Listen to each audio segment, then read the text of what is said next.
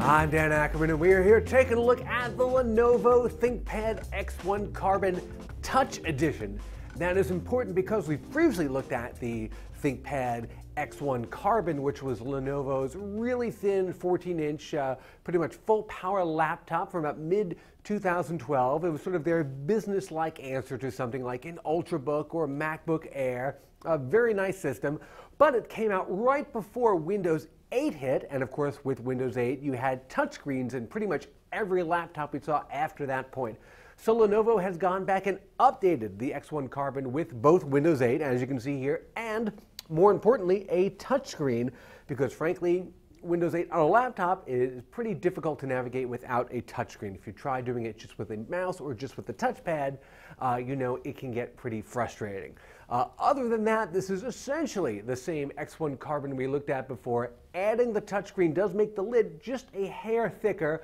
Uh, frankly, compared to some of the really thin touchscreen Windows 8 systems that we've seen, it's actually fairly noticeable that this is a pretty uh, chunky lid now, relatively speaking, although it's still quite thin. The whole package is still about three and a half pounds.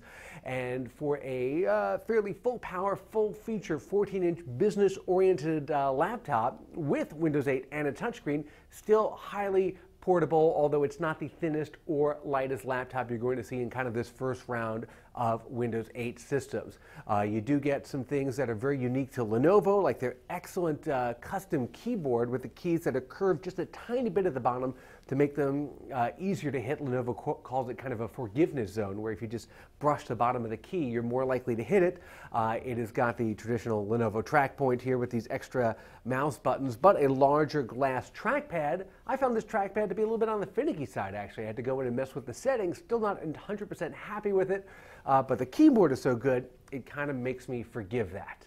Uh, this is $14.99, which means that they've added $100 for the touchscreen on top of the starting price for the original non-touch version last year.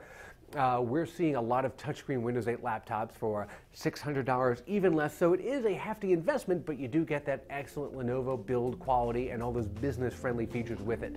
I'm Dan Ackerman, and that is the Lenovo ThinkPad X1 Carbon Touch Edition.